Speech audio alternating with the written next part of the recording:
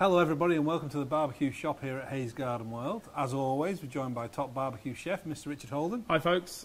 And in this video, we're going to be making salmon burgers, Mm-hmm. Hot smoked salmon burgers. and we're going to be using a Kadai Fire Bowl. So, Richard, talk us through all the prep we need to do for these burgers. Well, first of all, we've got some salmon pieces here that have already been partially cooked. They've been um, hot smoked uh, with probably around about 110 or so degrees C of heat. So they've been cooked lower um, and they've been just smoked, and we're going to flake those into the bowl. To that, we're going to add a beaten egg, some breadcrumbs, uh, the juice, most of the juice of one lemon. We're going to save some back for a little bit of a lemon mayo later on. Uh, then we're going to add some flavourings in the form of lemon zest, fresh garlic, some cayenne pepper, uh, a good amount of fresh dill, but not too much because it can overpower. Um, so use your palate in that respect, uh, and some Dijon mustard. And then we're also going to add some Worcester sauce, some salt, and some pepper. That will all get mixed in the bowl, divided by four, shaped into burgers, and then we'll grill those off.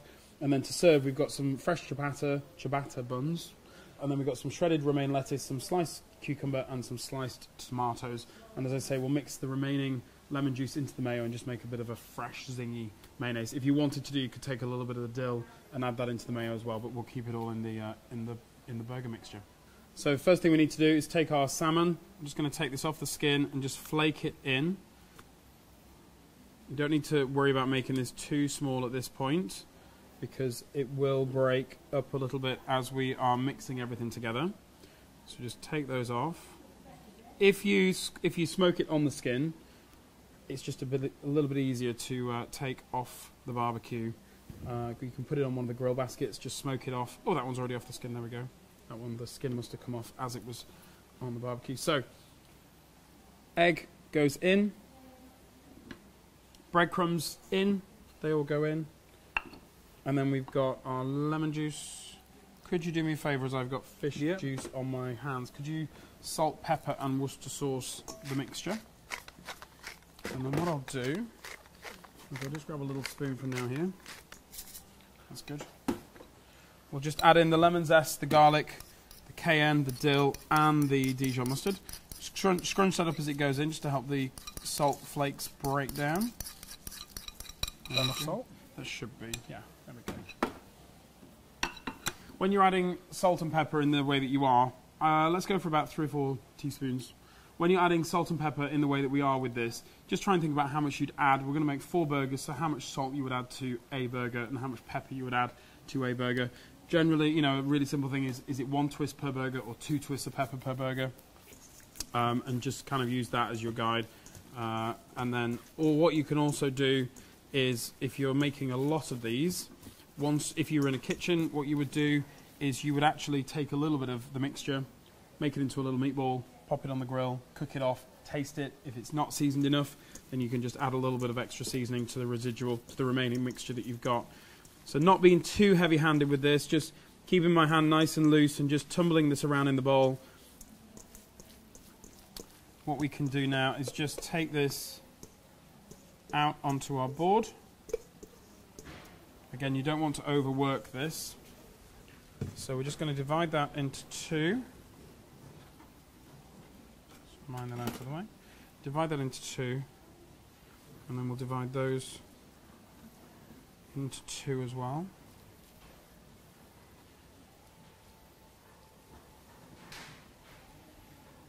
Just make them, eyeball them for evenness. If we're on Bake Off, we'd probably have the scales out right now, just making sure that they're to the gram. And then, do you know what? Looking at the size of our buns, I'm going to make an executive decision on shot, and we're going to make three. There we go. I'll eat the one with We'll just yeah, we'll just feed that to the ducks. Oh, you don't do that anymore, do you? No. So we're gonna make three, three little salmon burgers. They smell fantastic with that dill. Just form those using your hands. Try and make them nice and even thickness. There we go.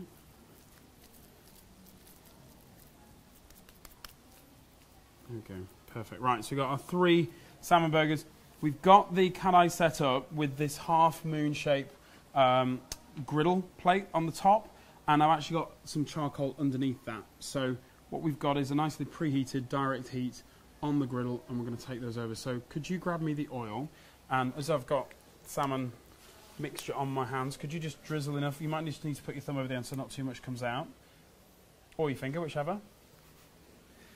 Just enough of a surface area to cook three burgers. There we go. And then we'll bring these over. Nice bit of sizzle. Nice sizzle. Again, it's about keeping the control of the of the heat. And we've already cooked the salmon effectively once, so we're just going to get some nice colour on the outside. We're going to get them nice and thoroughly cooked in the middle, through to about 62 for salmon. Um, but we're going to just let those sizzle away. They've got a beautiful little sizzle going on there, and we'll come back in a minute and we'll just turn them over and cook them on the second side. So they've had a couple of minutes. Let's have a little check. Beautiful little bit of colour on the first side. So we'll just, oops, what's going on here? Look at those. I know that's your favourite thing, but these are going to taste amazing. We're going to give them the same time on the second side. We'll probe them, and we'll take them off when they get to temperature.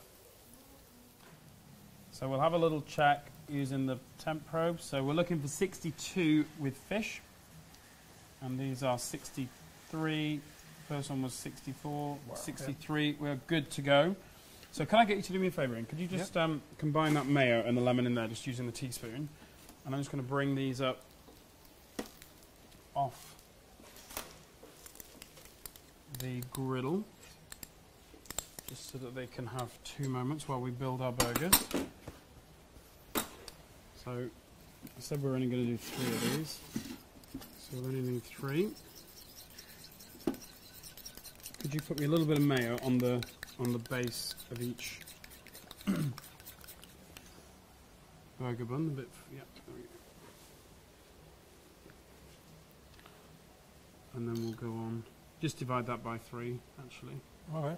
It's just a little bit with the ciabatta. There's quite a few holes in the bread, so just You lose some. you, yeah, you do. You lose some. So if we bring this up here now, we can get our lettuce on.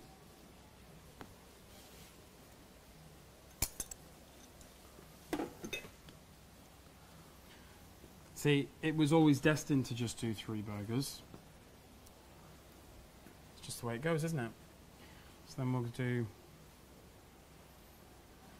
our tomato. Things look better in food when it's in odd numbers anyway. It's just the way it always is. Hmm. it's like planting, isn't it? We don't know anything about planting though, do we? We just focus No. on barbecues. So, little salmon burger on top. Then we'll just go with a little bit more of our cucumber.